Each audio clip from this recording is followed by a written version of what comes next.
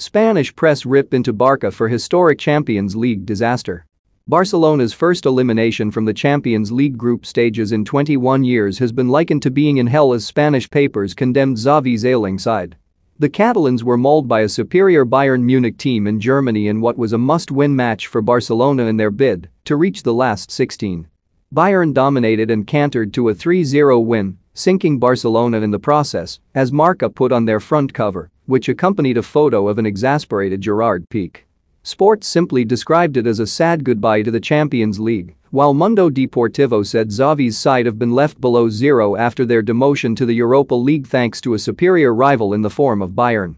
Barcelona knew that Benfica were likely to beat Dynamo Kiev and Lisbon, and so only a win away in Munich would send them through to the last 16.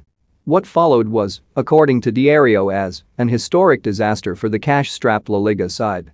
In hell, read their headline before adding, Barca's historic disaster, who have failed in the group stage of the Champions League 21 years later and are condemned to the Europa League. L'Esportiu simply described Barcelona's display as abysmal below the headline of it is what it is as a damning indictment at how far this side had slipped since Lionel Messi's departure.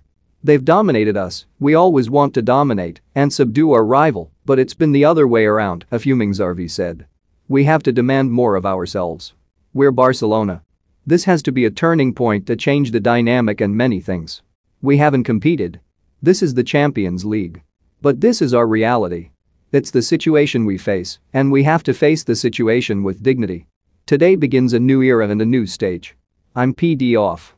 This is our reality, and it PS me off. But we have to face it. There's no other way. Today a new stage begins, and we start from scratch.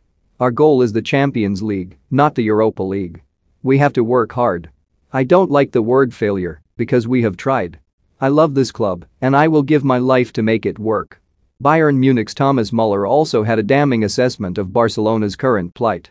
The German star told DAZN after Wednesday's game, I think Barca can't cope with the intensity.